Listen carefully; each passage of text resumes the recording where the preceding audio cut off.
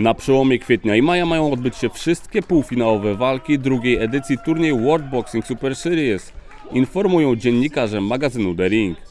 Pojedynki odbędą się na trzech galach, w których kolejno zostaną wyłonieni finaliści w turniejach w kategorii koguciej, superlekkiej oraz junior ciężkiej.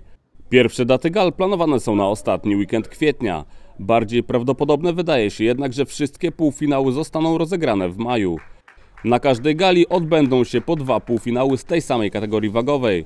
W jednej z walk wystąpi tymczasowy mistrz świata WBO wagi junior ciężkiej Krzysztof Głowacki, który skrzyżuje rękawice z Mairisem Bredisem. Podczas tej samej imprezy dojdzie także do pojedynku pomiędzy Andrew Tabitim i Junielem Dortikosem. Damn.